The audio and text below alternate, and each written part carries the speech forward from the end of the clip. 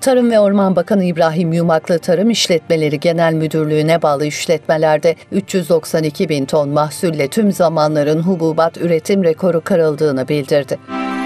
Sahip olduğu gen kaynakları, arazi büyüklüğü, deneyimi ve teknolojisiyle Türkiye için sertifikalı tohum üretiminde en önemli kuruluş olan TİGEM, özellikle hububat ve yem bitkileri gibi ürünlerin tohumculuğunun geliştirilmesi ve kullanımının yaygınlaştırılmasında etkin rol üstleniyor. Ülkenin bitkisel üretimini artırmak, çeşitlendirmek ve ürün kalitesini iyileştirmek amacıyla faaliyetler yürüten TİGEM, aynı zamanda yetiştirdiği tohumluk ve benzeri ürünleri çiftçilere ulaştırıyor.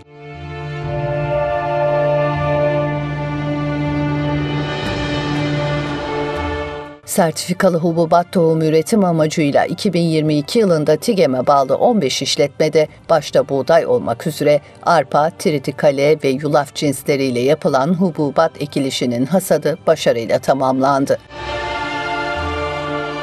903.331 dekar buğday, 99.219 dekar arpa, 16.482 dekar tritikale ve 2.369 dekar yulaf olmak üzere toplam 1 milyon 21.401 dekar ekili alanın hasadı sonunda tüm zamanların en yüksek üretim rakamına ulaşarak toplam 392 bin ton hububat mahsulü elde edildi.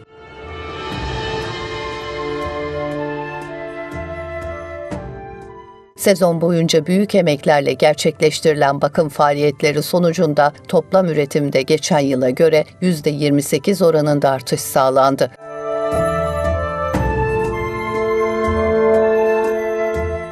...2022 yılında ise 306 bin ton sertifikalı hububat mahsulü üretilmişti.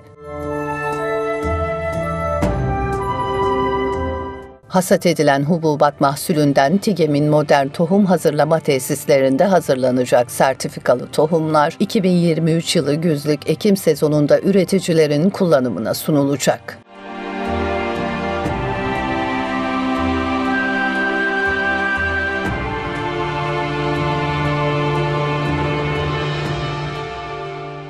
Tarım ve Orman Bakanı İbrahim Yumaklı, bereketli bir üretim yılı yaşandığına işaret ederek TİGEM'in 15 işletmesinde gerçekleştirilen 392 bin tonluk hububat hasadının tüm zamanların rekor olduğunu belirtti.